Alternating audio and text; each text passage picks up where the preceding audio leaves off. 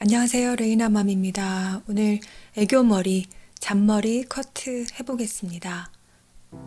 네, 평상시 묶는 스타일로 좀 묶어 놓고요.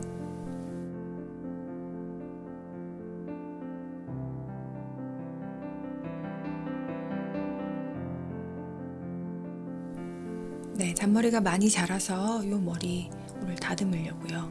눈썹 정리하는 칼 준비해 주시고요. 잔머리가 생각보다 어, 적게 아니고 여러분 생각보다 조금 많이 잡으시는 게 더 예뻐요. 두 개로 나눠 주시고요.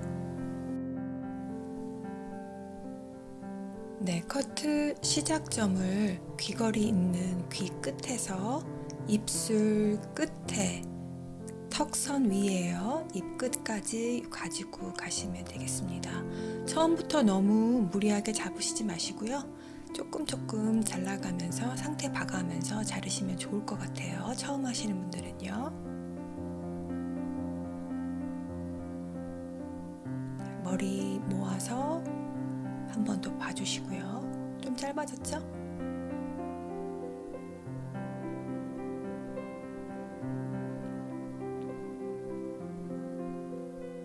자, 뒤에 부분도 어, 살짝 반 바퀴 정도 돌려요.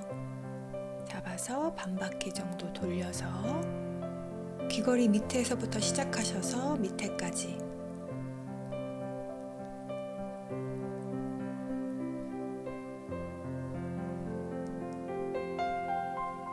자, 한번 더 해보겠습니다. 앞에 먼저 잡아서 반 바퀴만 돌려서 귀걸이 있는 귀 밑에서 시작하셔서 입꼬리까지 쭉 자르시면 되겠습니다. 한 번에 쭉 자르지 마시고요. 음, 세 번에 나눠서 싹싹싹 이렇게 자르시는 게 더 예쁘겠어요.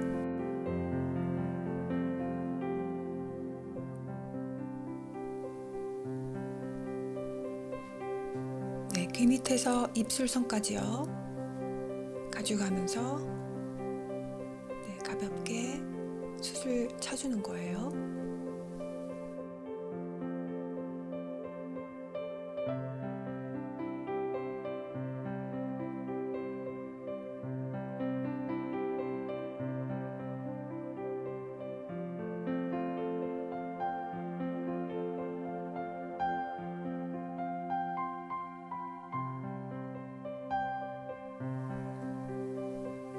귀 밑에 귀걸이 닿는 분에서 시작하셔서 네, 가고자 하시는 선까지 네, 수술 같이 치면서 힘 조절을 잘 해주셔야 돼요.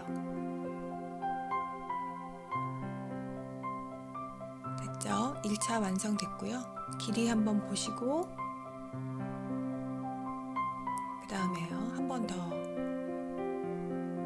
자, 한 번 더 그 다음에 정리하실 때는 반 바퀴 돌리는 거 하지 않고 그냥 그대로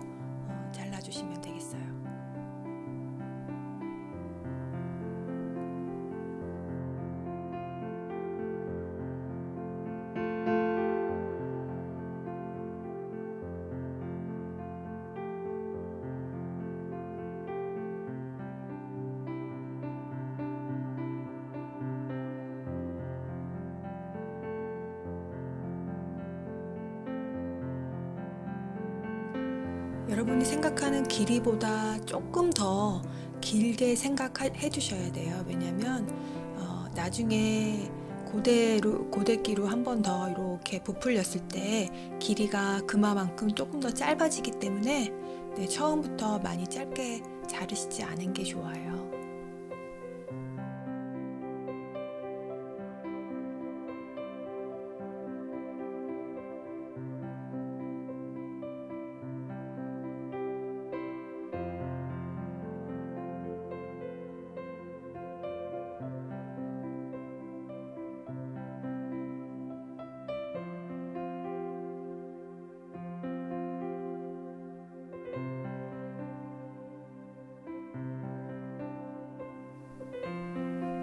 이쪽도 한 번 더 잘라줍니다.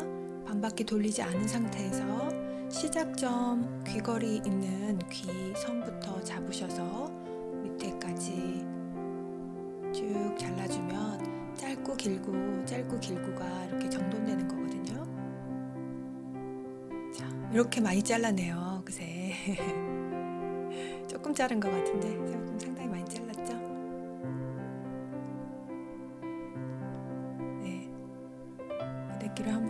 말아줄게요.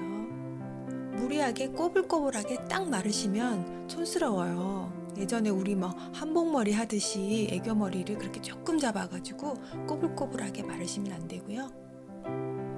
네.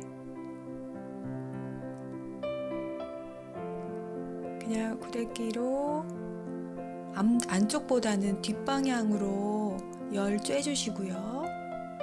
열 쬐준 머리를 손으로 이렇게 잠시 잡고 음, 원하는 모양으로 만들어주면 더 자연스럽게 될 것 같아요.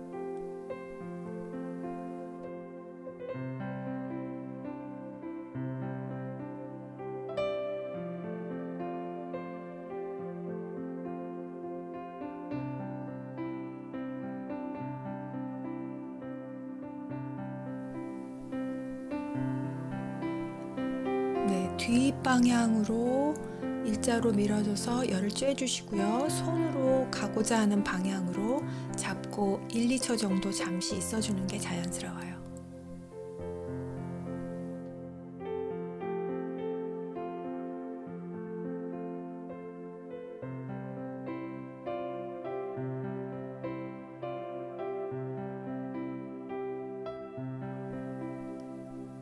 그래서 인위적으로 꼬불꼬불하게 만들지 않는 거 중요합니다.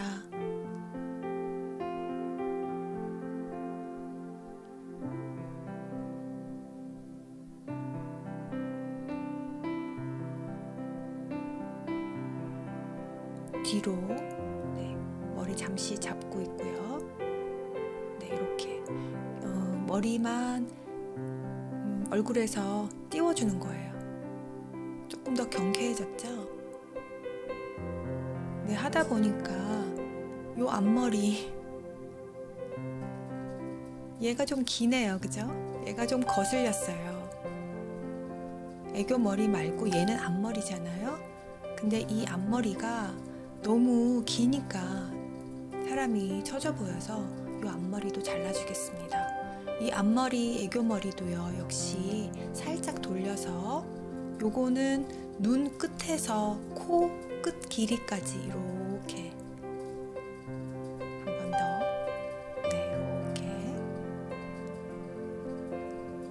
네, 이렇게 해서 고데기로 해주면요.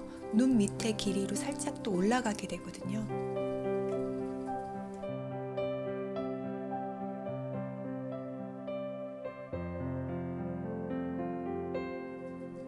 이 머리 역시 뒤로 열 쬐주고요. 살짝 잡고 있는 상태에서 hold 시켜줘요. 네, 아까 그 길이보다 조금 짧아지니까 많이 경쾌해 보이네요. 이렇게 네, 층이 생겼죠?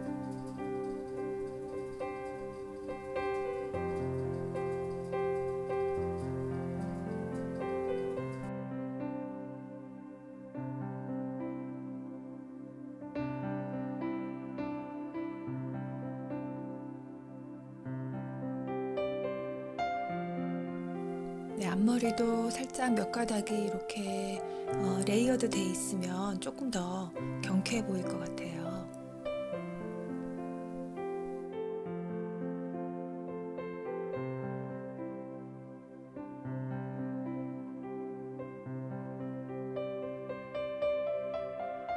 네, 이제 스타일링 한번 해볼게요. 여러분 머리 어, 그대로 손으로 빗어주시고요. 빗으로 빗지 말고요. 손으로 그냥 대충 빗어주세요. 밑으로 최대한으로 느슨하게 잡으셔서 대충 돌립니다. 그 돌린 머리를 다시 한번 돌려줘요. 네, 잔머리 나와도 괜찮아요. 끝에 머리 살짝 속으로 넣어주고요. 곱창 밴드로 살짝 묶어줘요. 머리 많이 뽑아주세요. 위로, 아래로. 네, 최대한 아래로 이렇게 묶어주면요. 굉장히 여성스럽고 어, 여러분이 긴 스커트나 또 앵클 부츠에다가 머플러 같은 거 하나 하고 외출하기 딱 좋은 네, 여성스러운 스타일 되겠습니다. 잔머리 뽑아주시고요. 네, 이렇게만 해도 괜찮죠?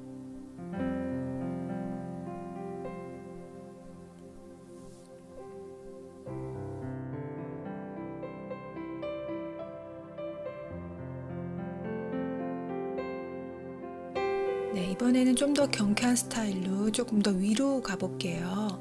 청바지에 티 입으실 때 이렇게 조금 더 위로 묶어주세요. 네, 역시 손으로만 빗어주시고요. 조금 다른 게 있다면 윗머리를 이렇게 가져다 줍니다. 네, 윗머리, 윗머리. 네.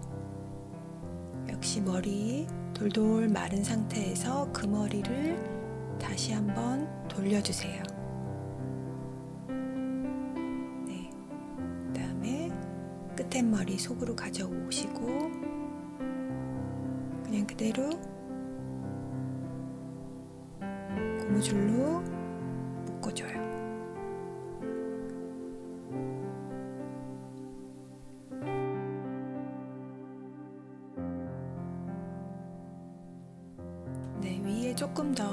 더 머리 뽑아주시고요. 잔머리 나오는 거 신경 쓰시지 않는 게 더 예뻐요. 잔머리가 있어야 되거든요. 우리가 아까 어, 옆에를 가볍게 잘랐기 때문에 네, 요 머리에 그대로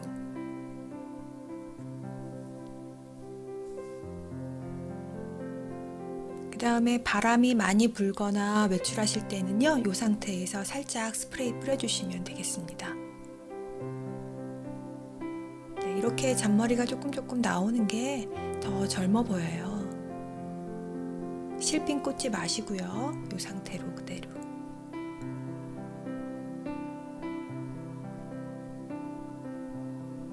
네, 어때요? 어, 아까 그 어, 더듬이 머리, 잔머리 조금 더 어, 자르니까 조금 더 젊어 보이고 조금 더 경쾌해 보이죠.